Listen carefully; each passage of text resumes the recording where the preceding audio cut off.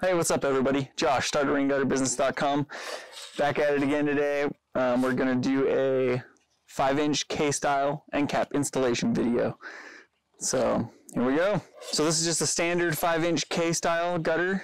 Um, this is cut with the guillotine out of the end of the gutter machine. End caps are just pre-made end caps. Uh, they're pretty inexpensive and they get crimped on with a set of end cap crimpers. So first, some gutter machines have a little bigger hanger lip on here, so you can crimp that a little bit if you need to, if your end caps are stick up a little high, hit. So make sure that's crimped and you can kind of see in there that um, that fits in there good now. and with these end cap crimpers, these are Malco um, SLC1s or SL1s. And you use the box end in, you just crimp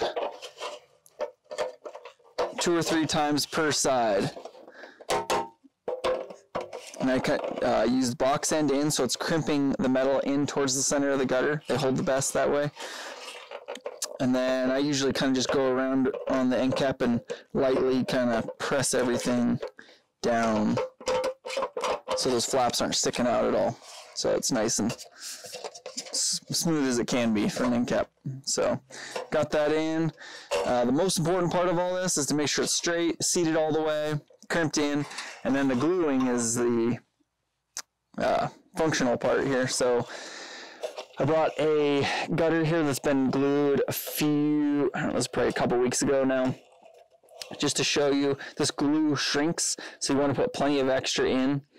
And then you also weld it in with your finger to make sure that it's sticking to both layers of metal really well. So we got got our end cap in. We'll go ahead and glue this one just to show you how it's done. So plenty of glue in there. Do a nice solid bead all the way. And then once once you got a bead all the way in, kind of uh, directing that nozzle in towards the seam to kind of shoot it in there. Then you use your finger, and you can wear gloves or whatever you need to do, but and then you just weld that glue, press that glue all the way around to make sure it's seated to both pieces of metal. That's what helps it stick on there and reduces your callbacks for you. So all that's seated. I always make sure we have extra glue in the corner right here, this front bottom corner, because that glue tends to shrink and, and can get you can get pinholes in that area. And then always glue all the way to the top.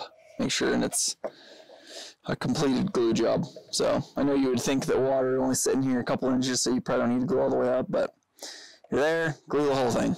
One thing you can do if you don't have these end cap crimping tools is you can either zip screw or rivet these end caps on. It doesn't look quite as nice, but I mean it works. So you can just take a zip screw in through the front and then it just kind of goes into that center part, which isn't really visible from the ground, especially if you paint them. But if you don't have the right tools, um, that's one way you can do it, or even use a rivet in that, that area. So that works too. Thanks for watching, everybody. Make sure and comment below if you have any questions. We'll get right back to you. And uh, subscribe if you want to see more of our videos. We'll be coming out with one about every week. So see you in the next one.